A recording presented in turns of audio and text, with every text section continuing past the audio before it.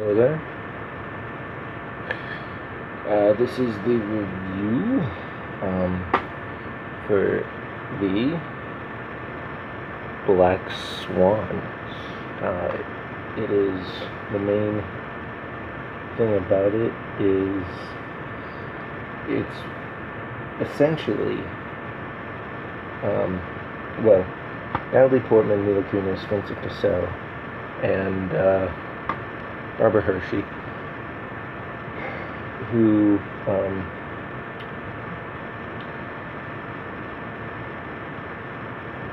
what is it? They uh, Natalie Portman's character Helena, and uh, is asked.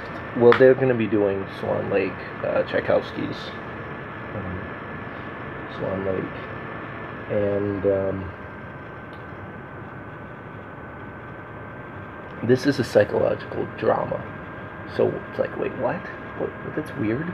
Um, okay, so I'll break it down for you. So Nina is a very gentle bunny, a very delicate flower, just very, very um, not outspoken, keeps to herself, and uh, she's got. Oh, uh, uh, by the way, it's directed by Darren Aronofsky. Um, so it's uh,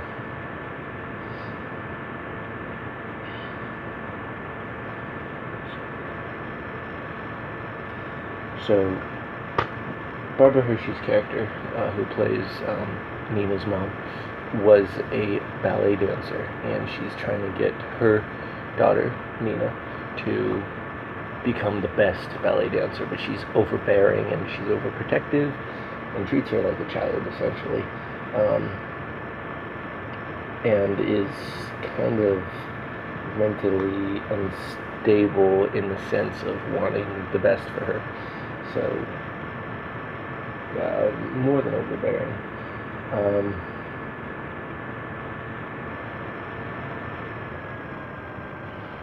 so the character uh, played by Vincent Cassel, who is Tomas, he is uh, the instructor, and he's trying to get Nina to become, because she's a swan princess, so she, she gets picked as the swan princess. Um, oh, it's also got Winona Ryder in it as well.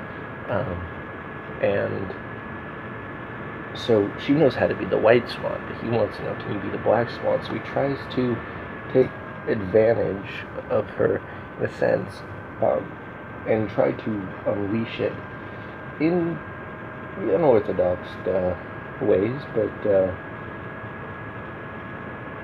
you do start to see her evolution and uh, transformation into um, a, a, progression into the Black Swan. Um, but Mila Kunis's character of Lily comes along and uh,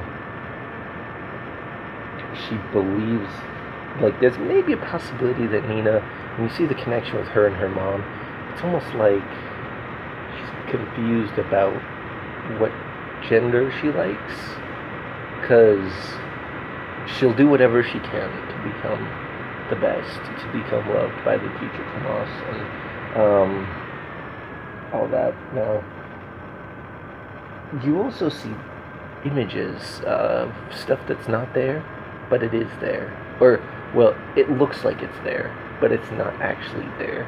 Um, she's got this scratching problem. Um, she doesn't do drugs, she's just got a mental instability kind of thing. Um, you're not exactly sure what's quite wrong, but uh, it's very interesting. Um, she's kind of at war with herself, trying to become her best self. Um,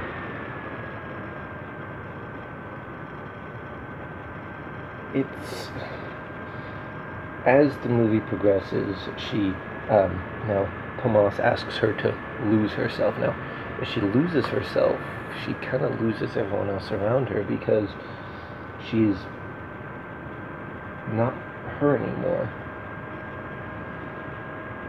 So it's very interesting. Um, it's definitely a little bit of, not a little bit. At parts, there are like a mind fuck, but it there are quite a few parts like that. Um,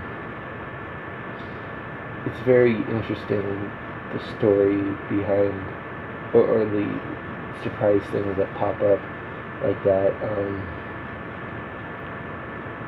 Mila Kunis has this draw towards her, but Natalie Portman's character, Nina, has also a draw towards her. She just loves her beauty and how elegant she is. And Natalie Portman is perfect as um, a ballet dancer. She just looks absolutely natural, and she is because apparently she's been a dancer for quite some time. Now, um,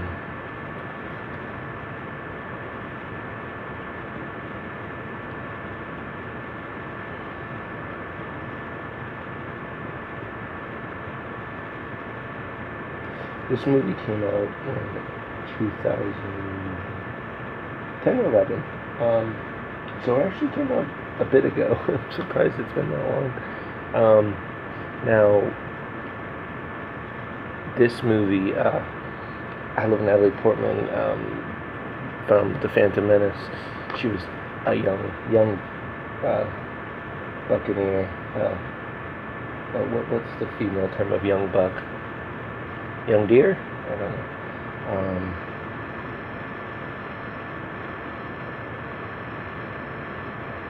what I've seen in other movies, um, No Strings Attached. Um, you know, there's some movies I still would like to see her in, but uh, yeah, her and Mila Kunis make an interesting pair. Vincent Cassel, as far as I know, I'm new to him. Uh, Barbara Hershey I she felt kind of familiar, but again, not too big. Um, in terms of like, oh, I know her, you know. Um, anyways, the movie is a crazy. Uh, the movie is almost an inception of itself, which is pretty interesting. Um, it's very elegant. The music is perfect with it. Swan Lake is one of the prettiest uh, theatrical plays I know of because it's just a very beautiful piece. And, um, you know, swans are one of the most elegant creatures, so, you know, it only makes sense. Um, but this movie is not just like a boring type of of not well it's not just you know a dance performance or a, a you know theatrical performance. It's a mixture. And it's very interesting the way the movie progresses because it, it, it throws you for for a loop you know? Um, so the movie cost about 13 million to make and it grossed 106 106 million which is pretty awesome. Um, and there's some pretty awesome scenes in it too. Me being a guy.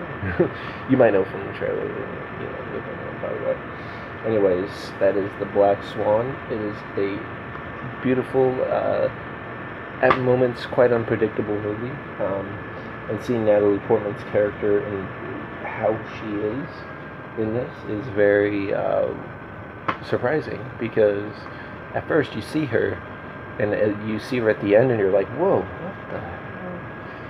It's a, it's a mindfuck. I love movies. What the hell? Um, but it's a beautiful movie and it's also a mindfuck. So that's a, quite a combination. Um, that's uh, The Black Swan.